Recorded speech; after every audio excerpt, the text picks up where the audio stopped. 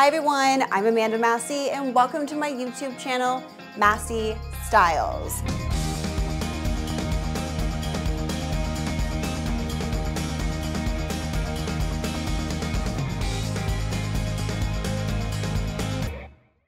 If you're this late in this style series game, I'm really upset at you. Go back three episodes and find out what to wear for each decade because this month it's all about styling for the decades. We're finishing off with talking about what to wear in your 50s. And then we're gonna switch gears and talk about how to take care of your amazing skin at that age. But as we always do, we're gonna start with my outfit of the day.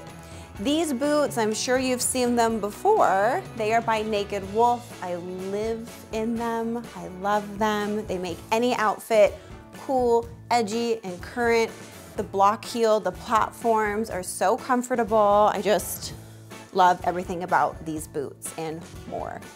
Then I'm wearing this slip dress that I have had forever. It's by Forever 21. I just wanted something that's like really tight and body forming to wear underneath this blazer that I'm really opting this blazer to be worn not as a blazer, but as a dress. But I kept it open. I thought about buttoning it together, but then I felt like I looked a little bit too boxy.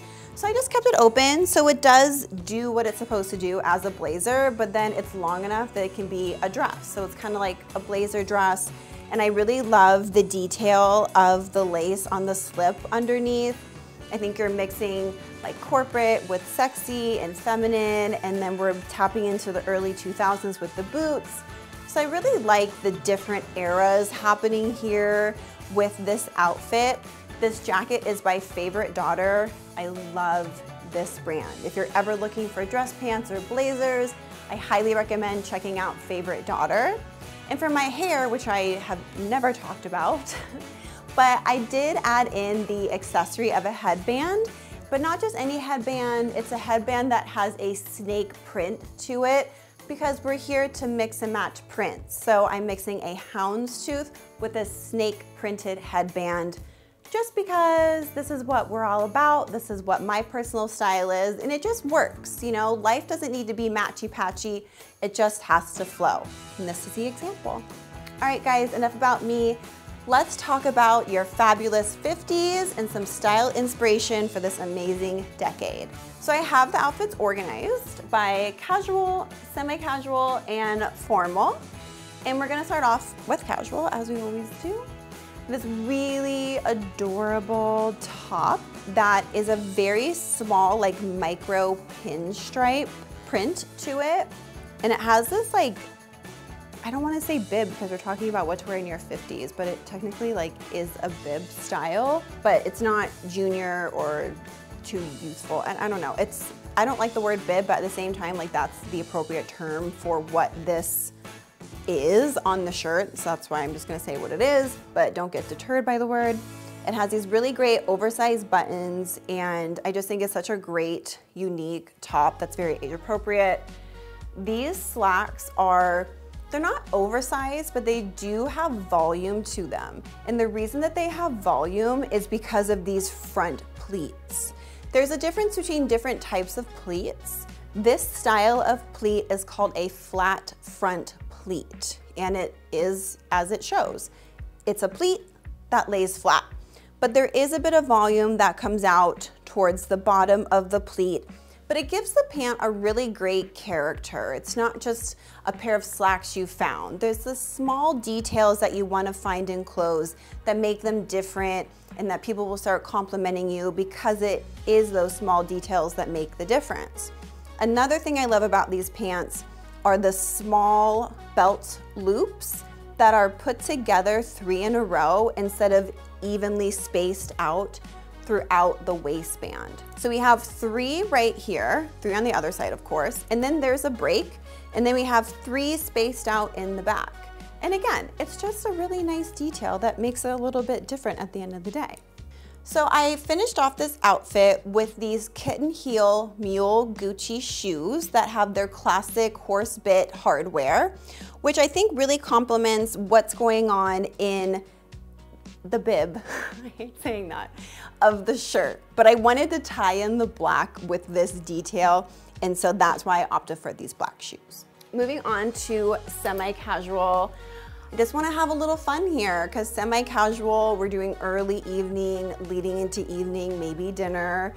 And this top is by Roberto Cavalli. Roberto Cavalli just absolutely kills it at print and color. I'm just, really love this top. I feel like in your 50s, go for things that are really luxurious, like silks, like wearing a silk button down in a pair of slacks or a silk button down in a pair of jeans.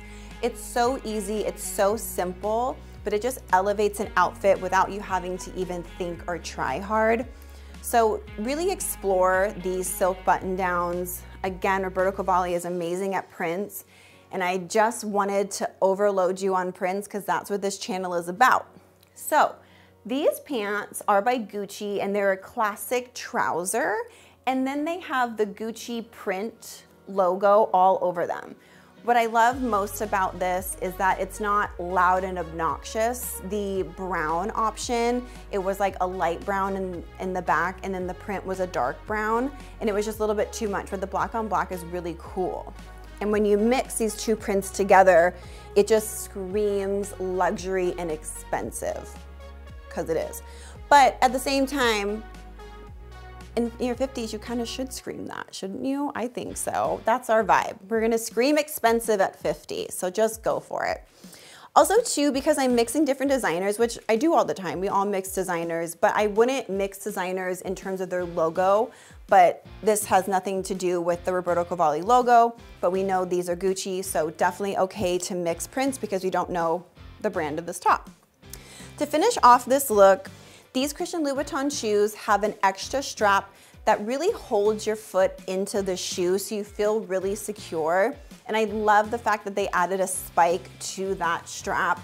I just really love a little bit of edginess in any outfit that I put together. And these shoes really hit the mark in terms of pushing that edginess vibe to complete this outfit. Last but not least, we have a formal outfit. And I'm starting off with two different types of bodysuits. I feel like bodysuits are a really great foundational closet staple that every woman, regardless of your age, should have because it keeps everything really tucked in and neat so when you're sitting for a long period of time and then your time to like get up, you're not pushing in your shirt, you're not tucking your shirt back in, everything stays all together and very polished. The reason I chose two different bodysuits is to highlight the neckline. So this has a V-neck neckline, so it is gonna show a good amount of cleavage, and I fully support that. I don't think just because, you know, you're over the age of 30, you should hide everything. So I wanted to just emphasize that let's, let's show a little something something. But if that's not really your vibe, then what would be a nice alternative that's very simple, sexy, and sophisticated is an off-the-shoulder bodysuit. So this is actually going to sit like this and so your beautiful collarbones are going to be the centerpiece of this outfit. And then you're gonna have that concealment of your bust at the same time. And then the slenderness of the bodysuit is gonna snatch your waist in. So I'm gonna keep this off the shoulder bodysuit for now to show you how to pair it with this really awesome fringe skirt. I love this skirt for so many reasons. I think it's an appropriate length first and foremost. And I really love the dark romantic Merlot color of this fringe skirt. I mean, it has so much movement and so much playfulness to it. And it pairs so well with a classic black bodysuit. This is what it looks like with the V-neck. Here, you can see this is a little bit more sexy and this is a little bit more sophisticated. And so just a small detail on neckline can really change the vibe of an outfit. Both of these bodysuits, as I mentioned, go with this skirt. And I think at the end of the day, it's up to your personal preference. Personal styling is just that. It's personal. It's whatever you like to wear. When you do a v-neck with this skirt, it's very sexy. It's, you know, commanding attention.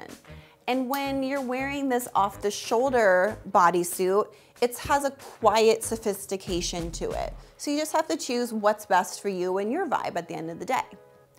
Now, in terms of shoes, they're like a medium height heel, not a kitten heel, but they're not super, super high like the Louboutins that you just saw. So they're a medium heel and they have a faux fur rose detail on the front, which I think is really, really cute. At the end of the day, we just wanna add something different to our black heels. So you see on each of these black shoes, there's a little detail that makes them more than just a simple black heel. So when you're shopping for yourself, look for those small notes so that you don't just have a closet full of black heels. So this is the combination that I would put together for an evening out. And that wraps up this rack of some style inspiration for this fabulous 50s decade.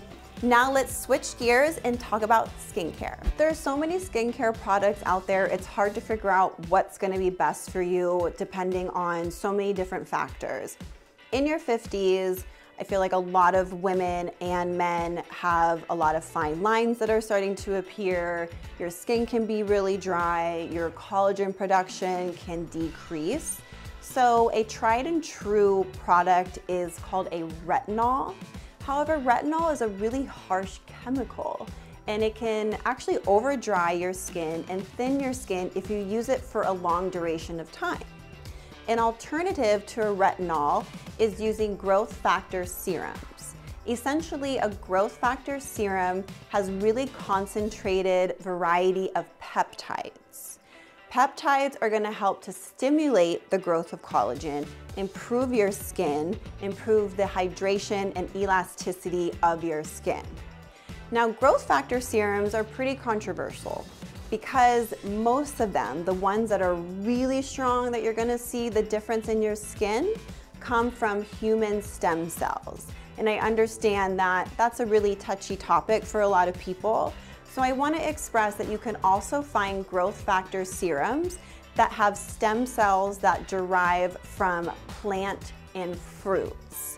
You can choose either one, it's really whatever your preference is. Studies have shown that the growth factor serums that you're gonna see the biggest improvement in your skin's overall appearance come from human stem cells. I understand that's really controversial, it's kind of a touchy subject, so I wanna let you know that you can also find growth factor serums that have stem cells that derive from plants and fruits. So you really have to choose which one you're most comfortable with using.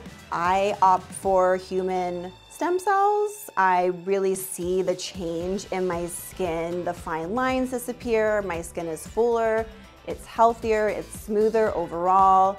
I love to use it underneath my eyes also, the serum, I just love because it sticks wherever you put it. Because a lot of the time when you put a serum by your eye, it starts to migrate as your body temperature increases, which can cause some eye irritation. But these serums, for whatever reason, maybe the peptides are just thicker and their bonds are stronger, they stay where you put them. I do wanna say that the name is literal. It's a growth factor serum. Whatever is growing in your body, you're gonna add growth factors to it and it's gonna multiply. So before you start using this product, go to a dermatologist, get a full skin check, make sure there's nothing there that's gonna signal a red flag. And after you've consulted with your dermatologist, vocalize that you want to integrate growth factor serums into your skincare routine to triple check that it is safe for you because it's growth factor serum. Whatever you put on it, it's gonna grow. It works, it works, it works. So definitely be careful with this. Consult your dermatologist before integrating this into your daily routine. There are a million different serums out there. I'm exploring about three right now. I'm not gonna share their names with you at the moment because I want to make sure that they're great, they're wonderful, they work the way that they're supposed to work. So in about a month, month and a half, I will have another segment on the growth factor serums that I use. I wanna weigh the pros and cons. At the end of the day, when you're sourcing these types of serums, you wanna look at the ingredients. You wanna make sure that it's not full of water. If you see water as the first ingredient, it's not gonna work. It's just not gonna work. You also wanna look for the clinical trials that have been done. If you can't find any clinical trials on this product, it also isn't gonna work. So that's two little tips to help weed out the millions of options that you have when you're searching on Google. At the end of the day, you need to do what's best for your skin. You need to consult with a dermatologist when you're going to start using growth factor serums. I hope you enjoyed today's video and learned a little bit about growth factor serums and got inspired with outfits to wear in your fabulous years in your 50s. Thank you so much for watching and I'll see you next time.